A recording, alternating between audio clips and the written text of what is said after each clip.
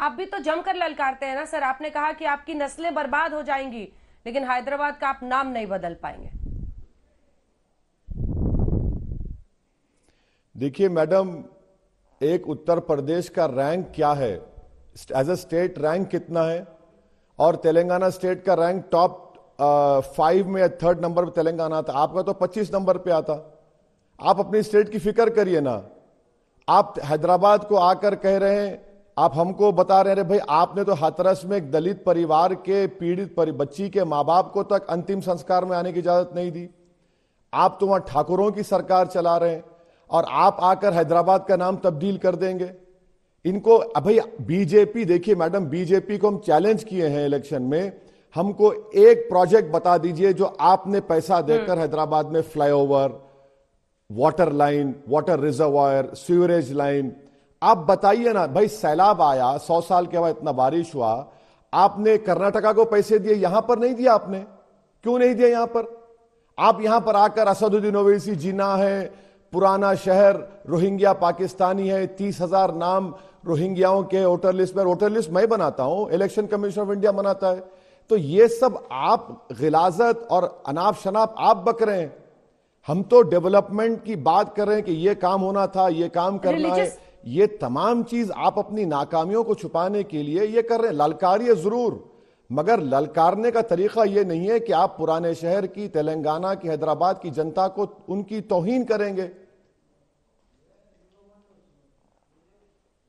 हम्म, लेकिन धार्मिक पहचान के इर्द गिर्द तो आप भी चुनाव आपका एक कोट पढ़ती हूँ जो आपने डाला है। हम काम जीएचएमसी इलेक्शंस में हम कामयाब होंगे इनशाला क्योंकि शहर हमारा लोग हमारे हम आपके और आप भी हमारे। रिलीजियस आइडेंटिटी पर तो आप भी खेलते हैं ना, सर? ये किसको नहीं पता है?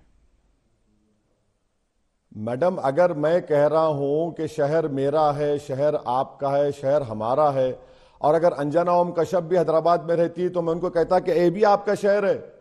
हैदराबाद में एक मशहूर कहावत है मैडम कि जो गंडी पेट का पानी पिया वो हैदराबाद का हो गया। यानी जो पानी पिया हैदराबाद का हैदराबाद का हो जाता है। इसमें मज़हब कहाँ से आ गया? मैं तो कह रहा हूँ कि शहर हमारा है शहर आपका है शहर सबका है ये।